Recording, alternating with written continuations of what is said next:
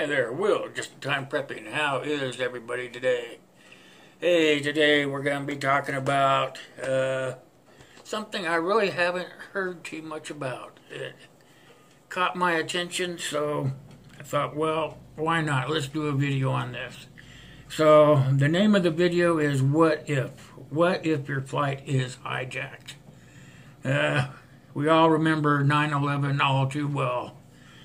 Uh, every time I think about going on a plane, I think about 9 11. I don't know about you, but it just stuck in my mind that 9 11 uh, catastrophe.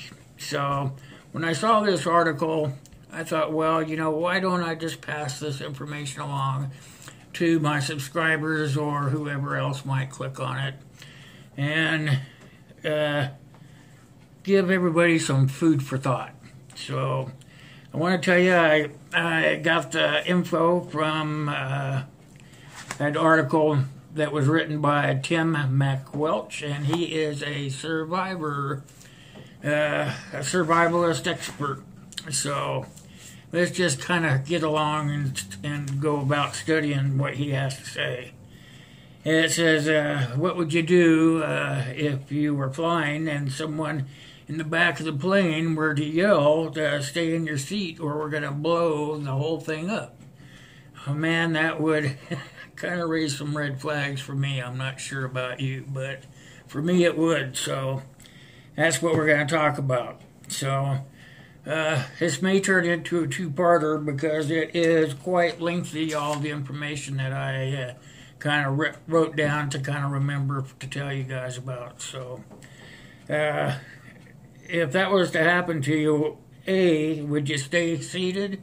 Or B, would you stand and face them? That was uh, two of the options you have. You could stay in your seat and hope that they don't harm you and see what happens, or you can have the courage enough to make a plan and uh, help the plane get out of danger. So everyone remembers 9/11, and eh, it could happen any, at any time to anyone. You know, I know we haven't had it happen since 9/11, but every time you get in a plane, you've got to think about it, or I do anyway. So when I saw this uh, article, I, it just really hit close to home. So just imagine yourself uh, that you're in a flight from, say, Boston to L.A. And uh, all you have aboard this uh, thing is aboard the airplane is uh, the airline crew, of course. You got your pilot and all the uh, flight attendants and whatnot. Then you have you, you have your significant other, and you have about 200 other passengers. So, uh, somebody were to stand up in the back of the plane and yell, you know, hey, Stay in your seats. If you move, I'm going to blow the plane up. What are you willing to do, you know? So, about halfway through your flight, like I said, the guy stands up and makes the announcement. So, that's when two men at the back of the plane are holding maybe a knife or a box cutter we all know about the box cutter thing, right? So they may have like a box cutter up to their throat or uh, any sharp object. Actually, you know, uh, they couldn't get through the security gates with a box cutter or anything, so they would have to have a plan in place. You know, somebody outside the plane uh, in the runway area would have to somehow get it into the airplane for them. You know, if you know anything, terrorists can get anything done if they put their mind to it. So, what would you do? You know, you know, basically, if that happens, that the plane is going to be hijacked, right? Right. So, at this point, you don't know if the flight will change course or if they plan to just blow it up. You know, they don't. You don't know if they're going to hold the plane hostage or if they're going to just go ahead and blow the darn thing up. So, are there how many? Uh, you have to guess. You know, you're trying to think things through here. So, one of the things I would think of is, hey, is is there an air marshal on board? uh, only air marshals could have a weapon on board. You know, that's the only that's the rule. You can't even have a handgun or anything in your carry-on because that would be detected at the security gate. So, at that point, uh, can you possibly use the plane as a, to be to call out? You know, make sure. Uh, see if your cell phones work maybe your laptop, you know, because they're telling you to stay sat down in your chair. That's uh, that's the thing. They're telling you to stay seated or they're going to blow the plane up. So you have to just stay calm. Basically, stay calm and think. Okay, um, I brought my laptop. You know, it's sitting on my upright or in my lap. You know, and I can uh, possibly get a message out. You know, or uh, maybe you have your cell phone, you know, your cell phone's on you. They always tell you to turn them off. If you're like me, you don't turn yours off. You just turn it down, you know. So you might want to check to see if uh, you can possibly get out on your cell phone. So uh, another chance you might have is uh, maybe make a plan to subdue the hijackers. You know, maybe you've got this badge of honor on your on your shirt saying, "Hey, I can do this," you know. So, uh, you if you did that, you would have to make sure that you had scanned the plane. You know, look around, see if there's any big burly guys on there, or maybe some uh, people that look like they're intelligent and might have have some. Uh, uh, trying to think of the word here before I get too far along, is that they were would have enough uh, uh, experience of life, you know, to uh, more or less help you override the terrorists on the plane. So uh, another thing is, is there any marshals? That's one of the things I already brought up. So at this point, you know, you got to remember about 9/11 on one of the planes. The passengers did just that. Is they got together as a group and they subdued the hijackers and kept the plane from crashing into the Pentagon, if you remember remember right. So here, what we're going to do now is we're going to talk about some things to do prior to your flight, so that if something like this were to happen, you would uh, be able to make a plan. Okay, so uh, a you want to buy your ticket in advance. Uh, I always buy mine in advance. It uh, comes in handy because you get a, a better deal and pay extra so that you can board early. Uh, uh, at the ticket counter now, you can usually pay a fee and you get moved to the front of the line so you get on board early. I get on early because of my health. You know, I have bad health. So, what I do when I check in is I just tell them that I can't walk all the way down to the plane, that I'll never make it because I have uh, uh, issue with my lungs. So what they did, did for me when I went on the plane was, hey, no big deal, you know. They brought somebody over, they plopped my butt into a wheelchair and piled all my carry-on luggage onto the wheelchair, and my son was in tow at that time, so here he goes down through the airport pushing me, and he's going pretty fast. But when we get to the gate, here's the here's the thing, because I was in a wheelchair and I was uh, handicapped, they let me go on the plane first. I got to go ahead of everybody, so to speak. Well, I'm finding out now that at the ticket counter, the people that are uh, regular passengers, if you want to board the plane early, they'll allow you to pay a fee to do that. So when you do that, what you want to do is you want to uh, pick a good seat when you get on board. Some some flights will uh, have your seat number right on your ticket, right? Well, actually, when you when you go to buy your tickets, if you're like me anyway, uh, when you're filling out the stuff to get your ticket, they bring up that diagram, uh, you know, on the online form, and it's asking you where do you want to sit, right? So here's the thing: is you want to sit in rows uh, between rows 15 and 20 because that's more or less in the middle of the plane and you can have the most visibility. Uh, also, there are exits over the wing. So the seats between 15 and 20, those are real easy to get to the exit windows, okay? So uh, most planes are that go from the East Coast to the West Coast are going to be Boeing 737s, okay? Those are the ones that you want to familiar, uh, familiarize yourself with. You'll want to, when you set up the arrangements online, get your tickets in advance. You want to uh, pick a seat between in rows 15 to 20 because those are the exit windows, and then you want to uh, pay a fee to uh, make sure that nobody's going to sit in the other chair there.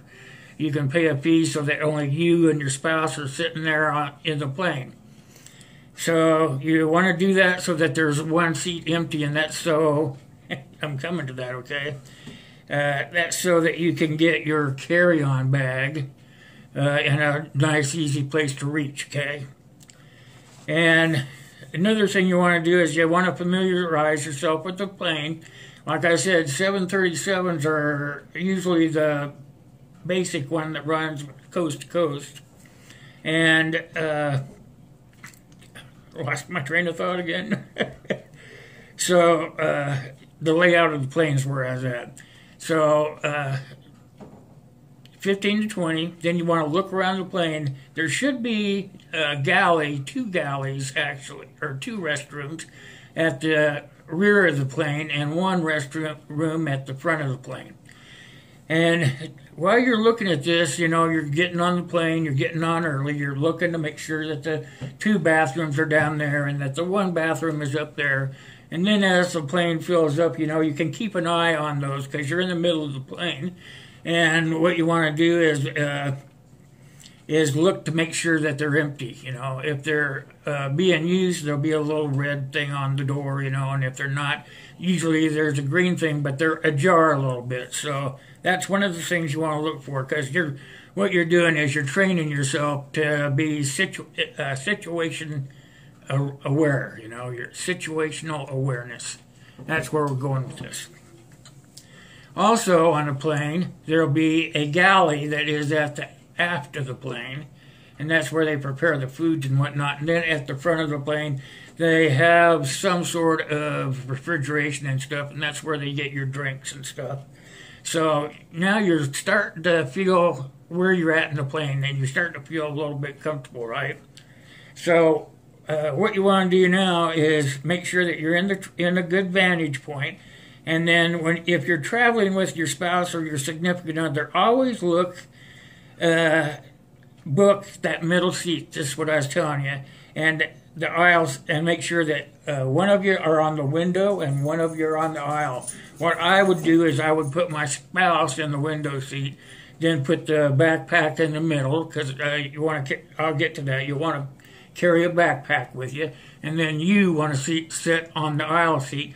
And the first thing you want to do when you get in that aisle seat, you want to lift up that arm and push it backwards so that you can get in and out real easily. Okay. Now, the second thing we're going to come to is when you're packing, okay? This is going to be Oh, I'm already 13 minutes in. I can tell this is going to be a two-parter because we got lots to cover. We're going to start talking about when you pack. This is prior to your flight, okay? Uh, when you're going to make your pack, you want to uh, make sure that you have your carry-on is usually a backpack. And then that's because the straps are easy, you know, you can pull it on while you're in the airport and carry it around. But also, when you put it in the seat beside you, you want to make sure that you can get to the, the strap easily, okay? So then you want to use the, uh, there's a pouch in the backpack, and you want to use that to uh, put in a carry defender plate. And I'll tell you why. You want to get the one that's a level uh, 3A, and it will uh, it will go through security because it's made of hard plastic and it can protect you from things like a frag or an edged weapon or even uh, physical strikes against you. So the plate weighs a total of 1.3 pounds, and it's really not going to tear you up to carry that extra uh, one pound just for your own personal safety. Then you want to uh, make sure the pack is easily uh, accessible, as I said, and you want to make sure the kit is uh, always containing consistable items.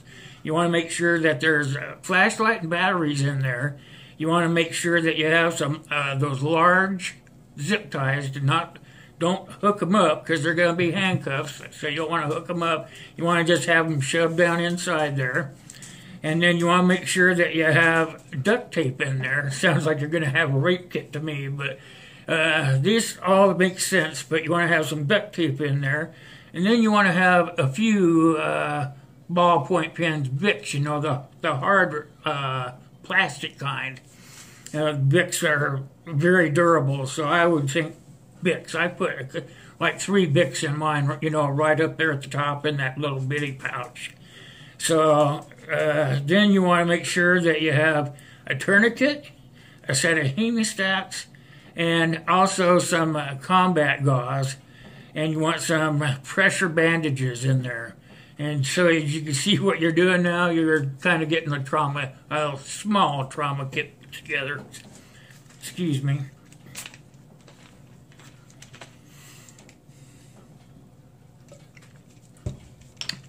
So now you've got the kit put together. This is what you're going to put in there. You're going to also put in there a pair of socks. And because I put a pair of socks in there so that uh, when you're flying that long distance, one of the first things that you do is you kick your shoes off so you can be comfortable. You want to make sure that you have extra socks in there in your bag because say you take your uh, socks off because you're going to take a nap or something or they're hot, so you take them off. Well, you want to put the socks back on because uh, in the confusion of st- uh, overtaking your hijackers and whatnot, you want to make sure that your feet are not bare. You want to be able to keep your feet free of any debris or something. Socks kind of deter that, okay? So after you get all that put together, we're going to talk about what you're going to do at the airport before you get on the plane.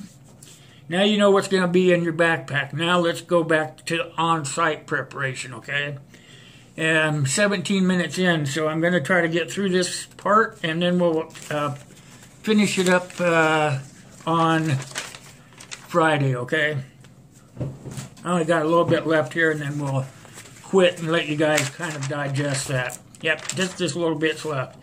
So at the airport, on site, you want to make sure that you arrive early to get to the gate.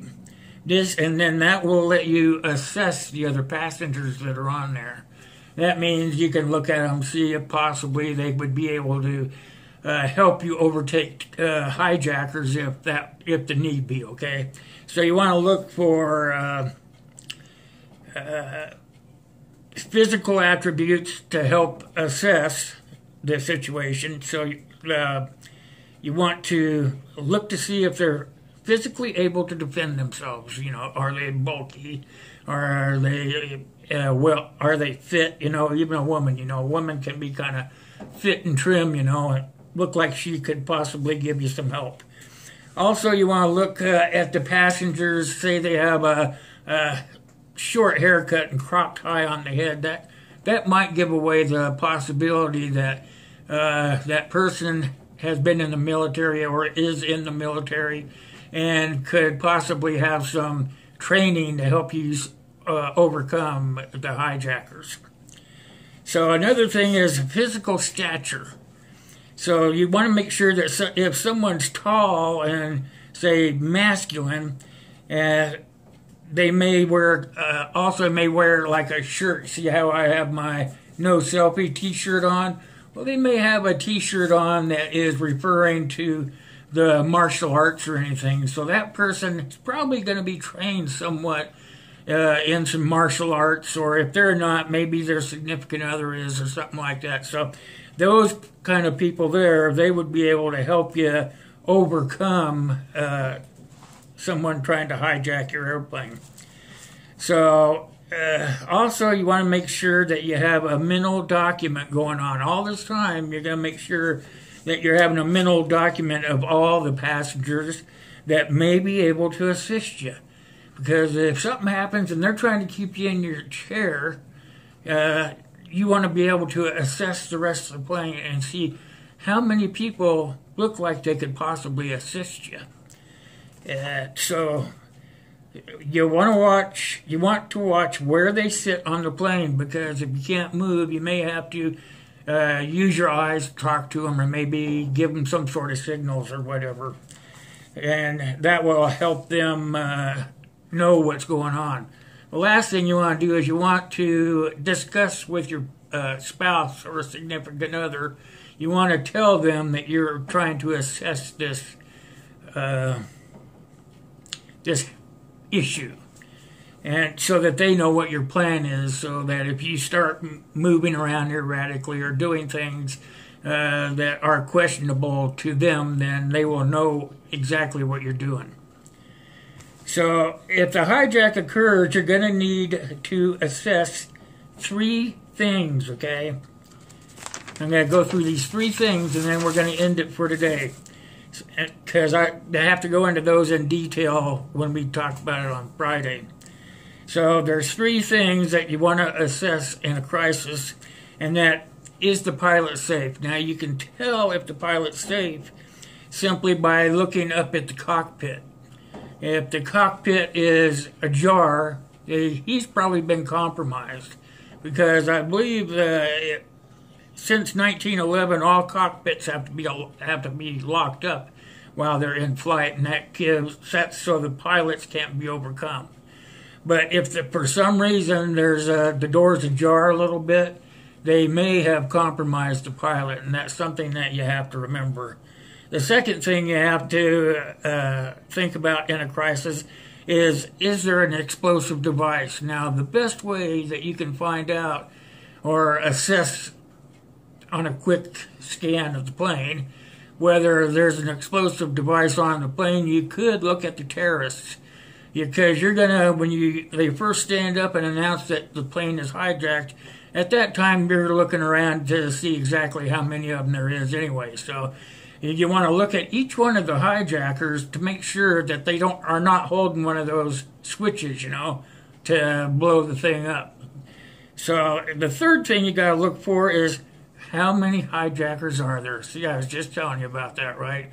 You already know how many there are, so you want to see if one of them's holding that dead, that dead. Uh, I can't remember what it's called, but it's a switch to blow up the plane, to explode uh, things.